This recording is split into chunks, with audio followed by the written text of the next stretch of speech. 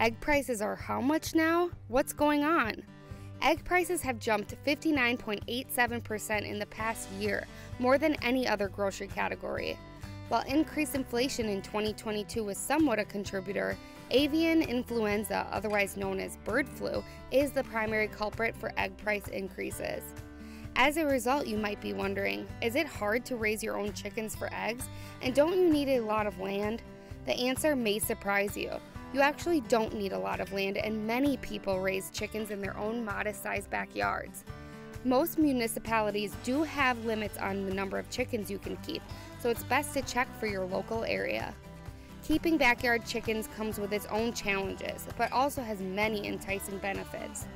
Not only do they make wonderful and often entertaining pets, but they teach self sufficiency, allowing you to produce your own food and eliminate a trip to the grocery store for a carton of eggs. For more information on how to get started and the equipment you'll need to incubate and raise backyard chickens, visit our website and our Getting Started blog linked below.